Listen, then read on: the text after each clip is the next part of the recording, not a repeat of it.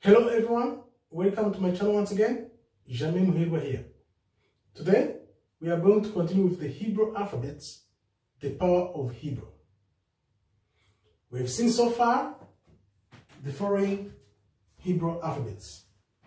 Aleph, Bet, Gimel, Dalet, He, Vav, Zayin, Het, Tet, Yod, and Haf.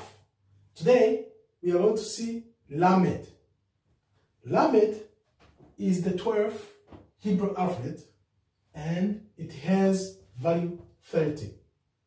It's written like this, Lamed or Lamed. Lamed itself, Mem and Dalet.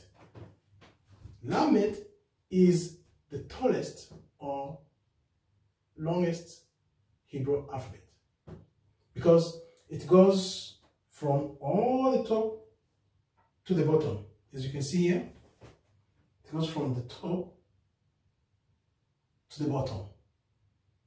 It is a symbol of loyalty or the heart because it is in the center of the Hebrew alphabets, the 22 Hebrew alphabets.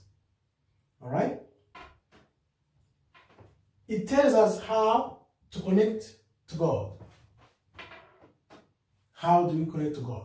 First of all, we connect to God through the Word of God, the Scriptures, and by knowing Christ. Christ who is the way, the truth, and life.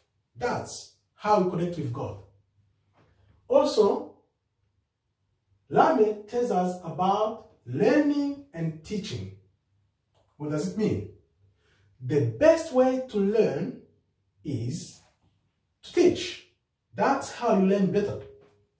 And also, it tells us how to know God better. If you want to know God better, what do you do? You see and look around what God created. Then you can start understanding things through your senses. You remember, the scriptures tells us, if your senses cause you to sin, what do you do? Cut them off. But you don't, you don't cut your ear or your eye. You don't take your eye out. That means just don't look or do not listen. That's what means. All right? Next, Lamed, being the tallest, tells us about the distance between the head and the heart.